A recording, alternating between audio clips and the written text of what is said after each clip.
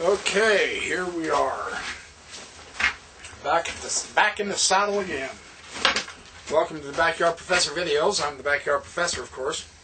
You know who I am. Don't you? I hope.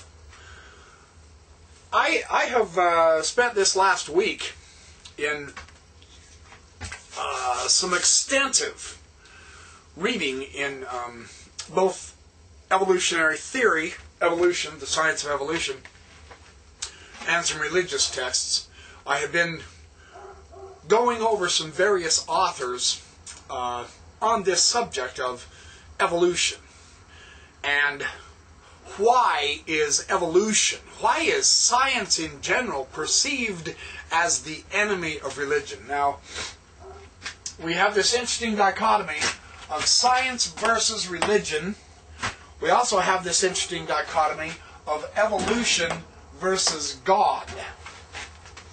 And then what I've written underneath that, what I've written underneath that is the enemy of religion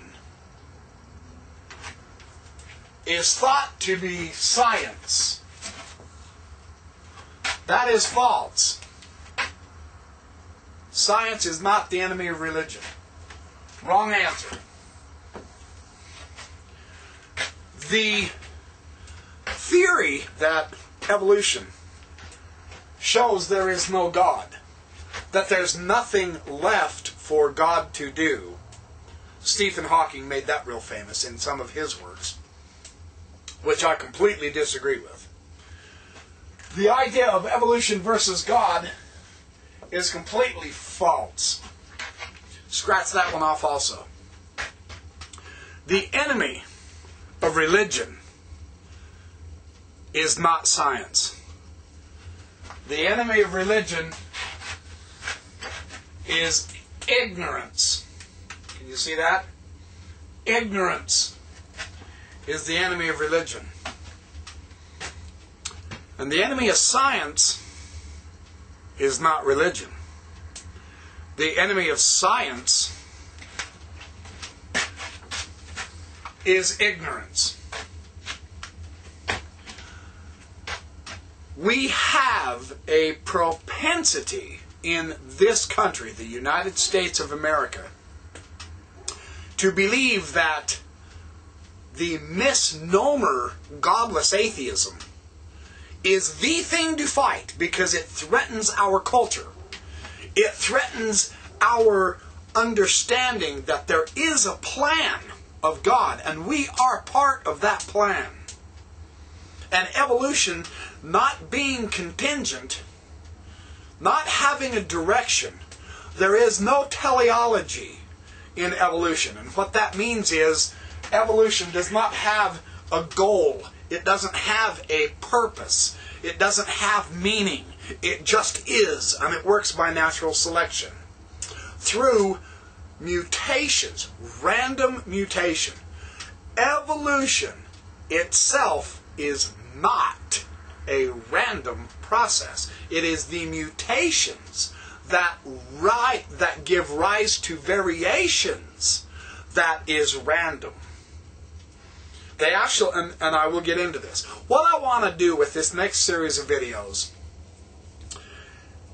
and I have two approaches I need to do. Now that I've read enough of the literatures, uh, I've read enough of the books on this, that now I understand. I, I have, well, I have several different audiences in my YouTube videos now.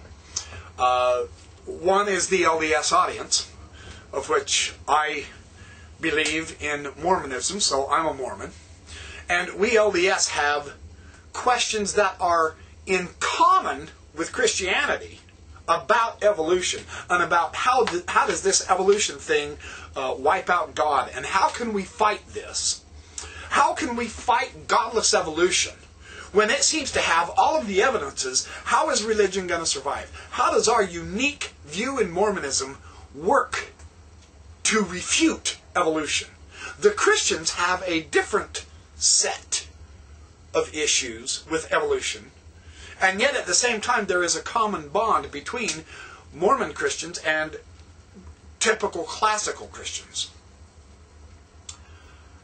we all bandy together to fight this godless evil, this amoral, immoral, non teleological evil science because it's producing atheists and they are destroying the meaning of our lives. This whole approach is all wrong. Time out. Time out. This whole approach is wrong.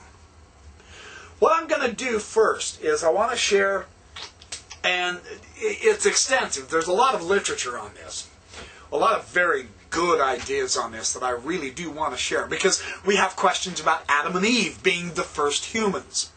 We have this idea that there was no death before Adam and Eve, and yet science clearly shows, absolutely without question, that there was life and death going on for hundreds of millions of years before even hominids showed up in the fossil record.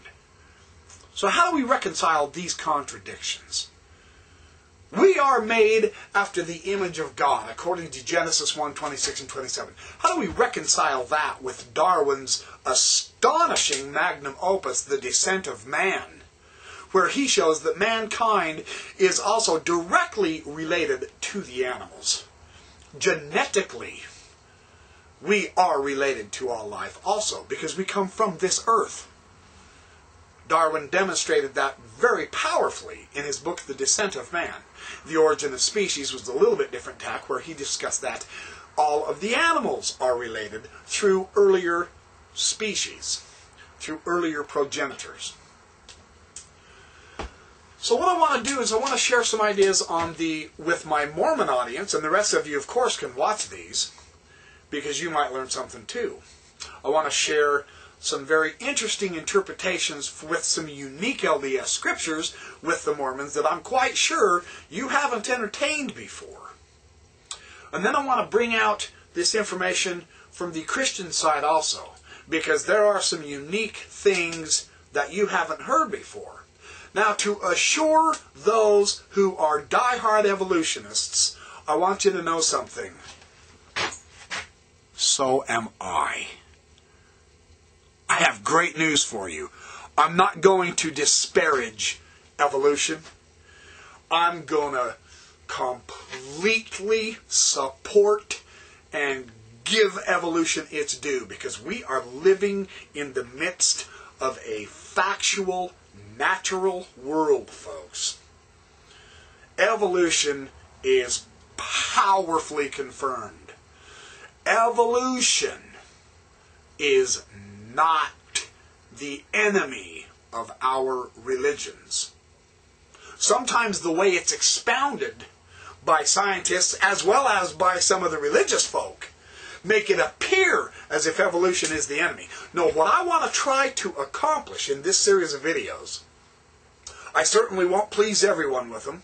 I really don't care. We can obviously talk about it, of course is I need to switch your paradigm so that you understand that the enemy of our religions are our incorrect assumptions based in ignorance about how the situation with evolution and religion occur. They are not opposites. And they are not at loggerheads battling each other. Oh, I know, there's many people who want us to believe that. But I don't. I am an intellectually fulfilled Mormon. Just as sure as Dawkins, Richard Dawkins, is an intellectually fulfilled atheist. But Dawkins and atheists in general have some assumptions that have been called into question, and I want to bring those out. Evolution does not necessarily lead to atheism. Evolution, if we understand the proper relationship with science and religion, can enhance a believer's understanding in the utter grandeur of God's creation. And we